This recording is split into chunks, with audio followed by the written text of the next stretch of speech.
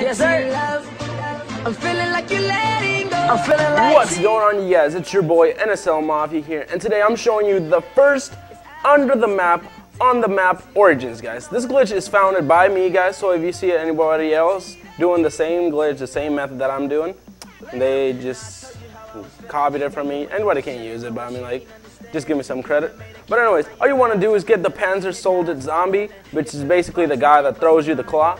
Come to the spot that I am right now, and all you want to do is just come to this spot. He will throw you a thing. Once he throws it, jump up and then crouch. Once you jump up and crouch, it will bring you into this little area under the map, guys. And you can actually make a pileup. Like, you just stand up and the pileup will be right there.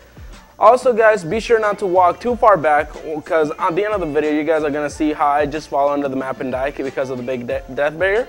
But right here, guys, I'm just celebrating with my friends. We're like, oh, we got on the first try, guys, amazing, and all that stuff.